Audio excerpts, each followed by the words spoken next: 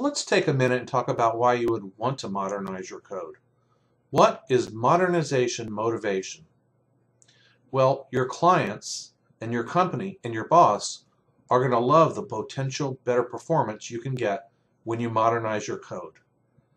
While modern compilers are extremely good at providing optimal output from your code, the better your code is, the better organized, the cleaner, the better the output potentially can be.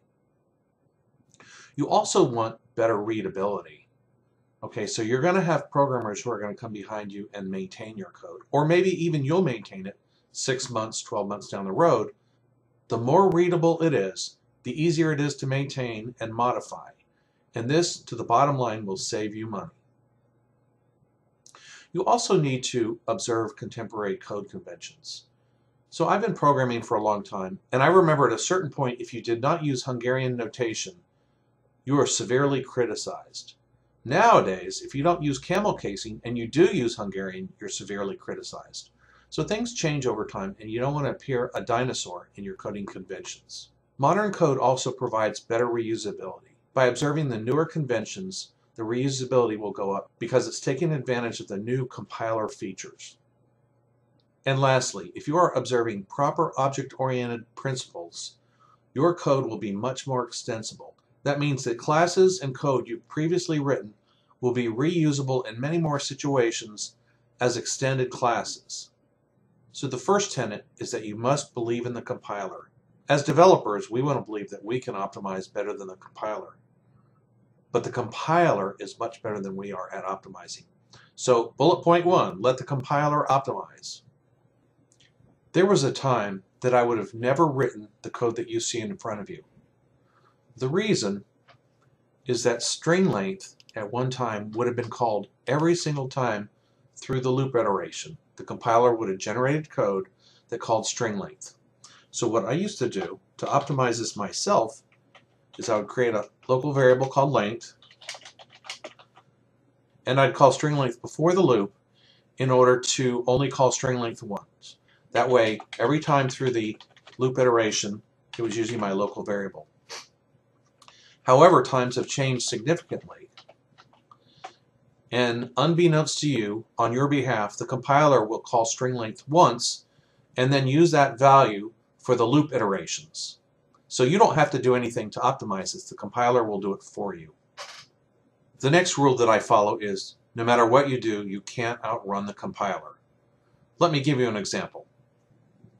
Okay, so let's take this really simple code snippet and it just counts from 0 to buffer length minus 1 and creates a total. Well, I could easily rewrite this in assembly language and Visual Studio, Visual C++ supports inline assembly. And there's the equivalent code right there. I have tried over and over and over again using inline assembly to beat the compiler. And to date, with modern compilers, I can't. I used to be able to beat them pretty handily, but in recent times there is no way. The last of these points I'd like to make is that you should let Visual Studio, Visual C++, or the Intel compiler use their optimization defaults. I actually did quite a bit of experimentation in size optimization versus speed optimization. As it turns out, the way the L1 and L2 cache work, many times size optimizations give you better speed than speed optimizations. There are some downsides to modernization. You should definitely weigh these carefully before you proceed. The first is cost. It's going to take you time to modernize your legacy code. Is it worth it? You need to do a careful analysis before you move forward. If it's not worth it, don't do it. You also may have to refactor applications that consume classes and libraries which you are modernizing. For instance, they may have different calling conventions or they may have different ways of making their method calls. You may actually have to factor several applications that might consume the classes or libraries. In addition, you can break things. Code dependencies cause some applications to break. Here again, this is a pretty significant cost if you ask me. The possibility of breaking an application because you refactored or modernized some code is something you should seriously consider. So in conclusion, there are downsides to code modernization, but you can mitigate these risks with careful planning. Effective modernization can affect performance, reusability, and readability. So for these reasons, you should carefully consider it.